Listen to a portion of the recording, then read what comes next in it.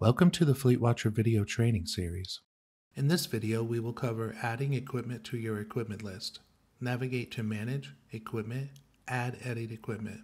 Click on the green box, Add New Equipment. When accessing the Add Edit Equipment feature, you will encounter the standard screen typically displayed. It is important to note that the asset type functionality plays a significant role in this process. It dynamically alters all associated fields. For off-road equipment, a distinct set of information will be presented. On-road equipment will yield a separate set of data.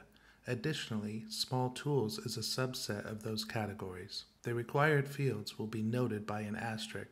Equipment types can be added under Manage, Equipment, Add, Edit, Custom Equipment Types. The asset name is how you identify the equipment within your company. Add the manufacturer, make, and model. Most manufacturers are listed in the drop down menu. If you find one is missing, reach out to your CSS representative and they can add the information for you. Select the company name that owns the equipment. You can add additional companies under Manage Company, Add Edit Companies. Set the status to active, then click Save. When a paver is selected under the equipment type, the feet per minute non paving threshold will appear. This is the speed at which the paver will reposition itself and will be omitted from the KPI calculations. On road equipment has an IFTA option. Use this to track miles driven in each state. The UDF fields can provide more details about your equipment. Rename the UDF fields under Manage, Company, Edit Information. The small tool has an option to Attach to.